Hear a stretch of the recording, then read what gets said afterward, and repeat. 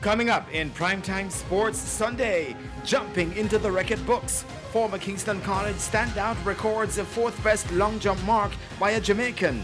And a Sprint Fest is on the cards uh, for racing at Caymanas Park on Monday.